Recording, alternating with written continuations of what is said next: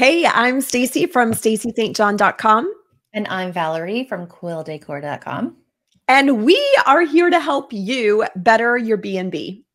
This is our weekly show where we review one property's listing and interiors in 15 minutes or less.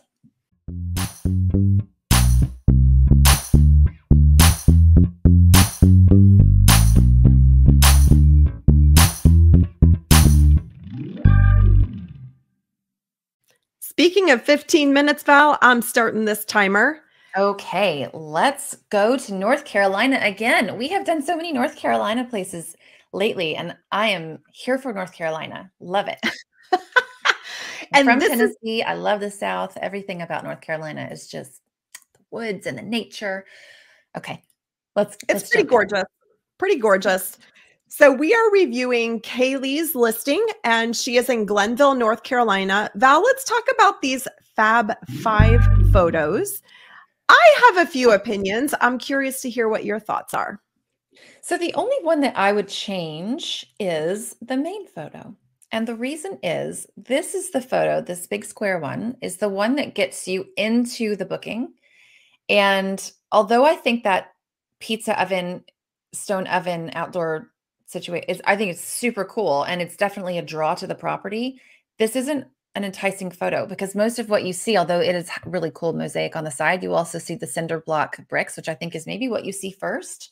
And this is going to get people to click on your booking and want to see more.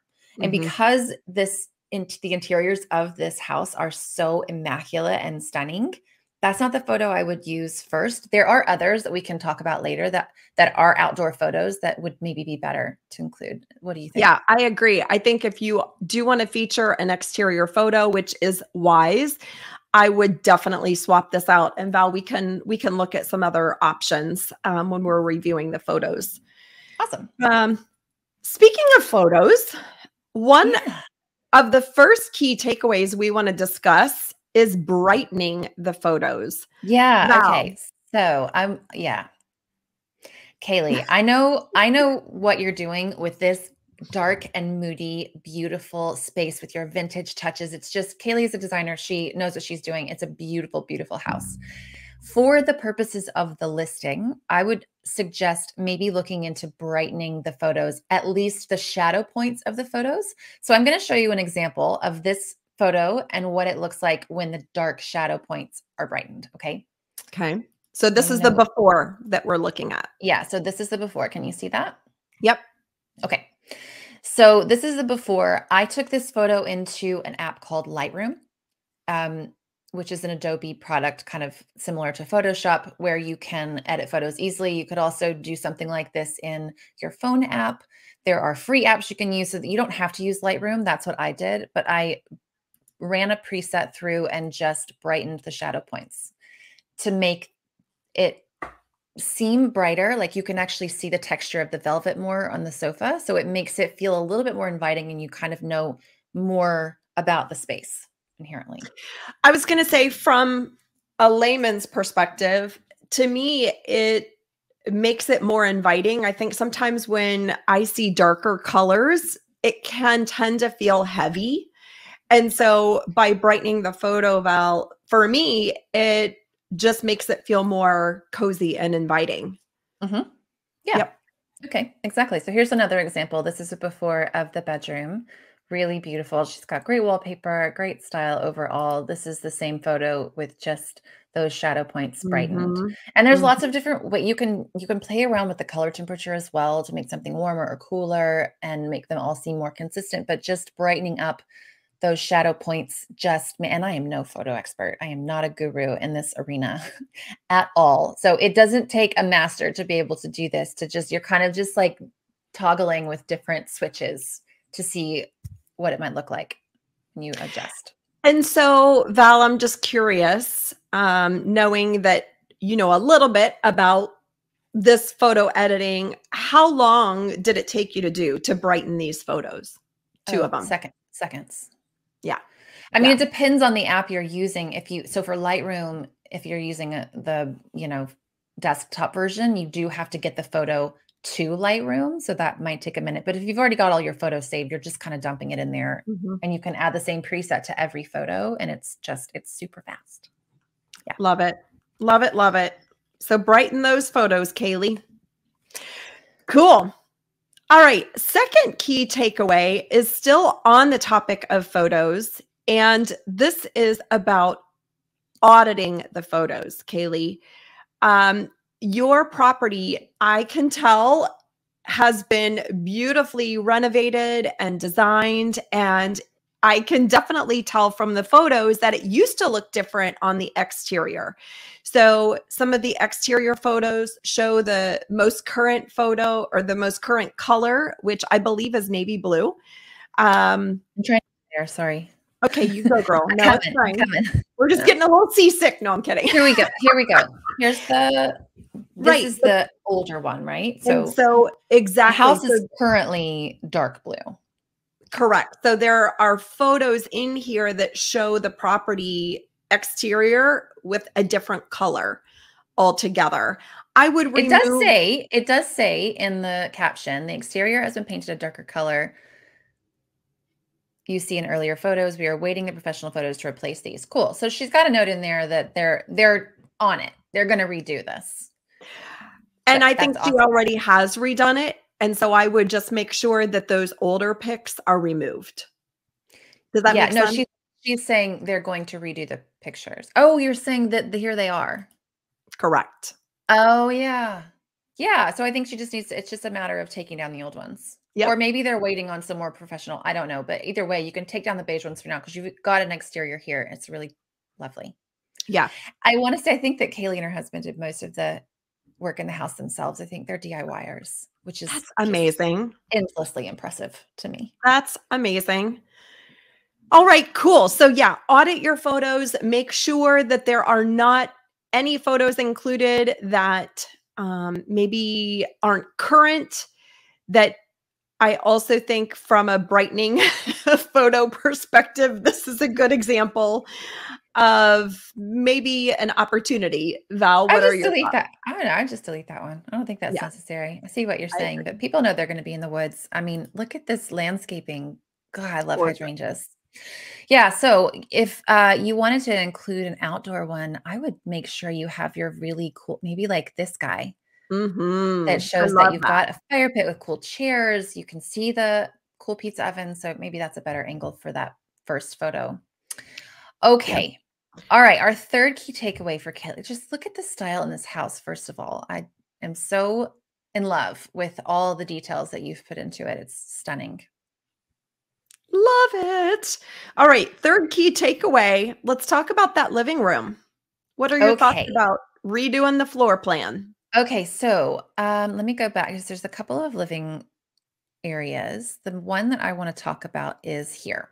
So in the area right off to the kitchen, you've got these really cool wingback chairs and this lovely little seating area. However, I want to ask Kaylee, I of course don't have the dimensions or I don't know necessarily if this would work, but I think that this room could be laid out maybe a little bit better to evoke more conversation. So, what if you switched the dining area, which is here?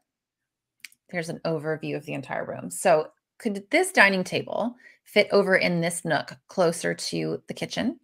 And could these chairs come over here with a sofa and let's group them differently in front of this window to create to face each other so that you've got the two wingback chairs and the sofa facing each other for a conversation zone. And then you've got the dining area closer to the kitchen zone.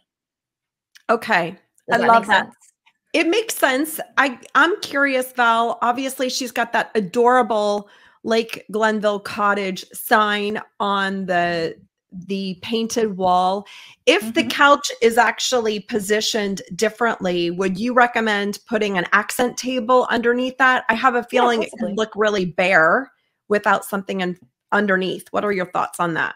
Yeah, if there's room, I think that's a really good point. So you could put a, a little accent table underneath this Mhm. right there, because my suggestion is that maybe, again, I don't have the dimensions, but it kind of looks like it would work to put the back of the sofa here facing the window and put those two wing back chairs in front of the window.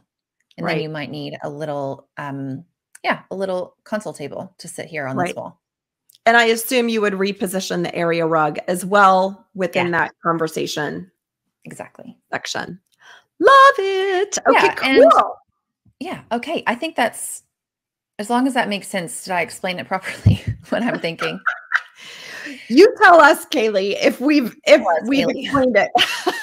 but I think that this, you know, this like convert this little is this is such a good vignette. These 2 mm-hmm. wingback chairs in front of the window. It's beautiful, but they're so far away from the sofa. And it might be more enticing to guests to show that the living area is kind of a cozy nook where you can hang out together. Right. Right. Yeah. Totally love that. Let's talk about something that Kaylee is doing well in our keep it up section. Okay, so Kaylee, you're doing a lot of things well with the interiors. We all know that. Your place is stunning. You are very talented. I noticed when I was looking at your reviews that you do a really good job of responding to people. And I I also noticed that one of your guests said something about that you wouldn't allow them to turn the heat up as high as they wanted. and then I noticed you responded and said, think in a very gracious way, we don't allow our guests to turn the heat up to 85 degrees, which instantly in my mind as a potential guest says, okay, so that's not reasonable for the host yeah. for the guest to want to turn yeah. the heat up to 85 it's okay for kaylee to put a band or a block on that because that's not good for anybody right. to have the heat that high so i just thought that this was a beautiful response to that and um, we can all take a page from your book and do this really well like you've done with just you were very gracious you were very kind but you also stated clearly what that guest was asking for, which wasn't a reasonable right request. And you also say you did you say in the listing that there's no cell reception. Like you made that clear. So yeah. I think Val, to your point, it is important when we are responding to guest reviews. Obviously, uh, we want to help that guest understand maybe the reasons why you couldn't accommodate. But what's most important about that response is that you're educating other people who are potentially booking your property as to the situation and how mm-hmm. something that the current guest has requested is completely unreasonable. So that if a potential guest is looking at it they're going oh of course no problem. Yeah. Exactly. Yeah. okay. Yep. Oh kaylee we love your place. I um recently sent it to a couple of friends and i just i would love to stay there someday when i make it over to north carolina it's gorgeous. And thank you so much for submitting. We hope that this was somewhat helpful. And if you are watching this and would love to have your property reviewed on the show, all you have to do is go to betteryourbnb.com and fill out a super simple form. And if you're watching on YouTube, please like and subscribe. We love all those likes and subscriptions, and we want to make sure that you um, can get every show that we put out. Thanks for joining us. And thank you, Kaylee, for submitting. We'll see you next time. I'm Valerie Malone. And I'm Stacy St. John. Happy hosting.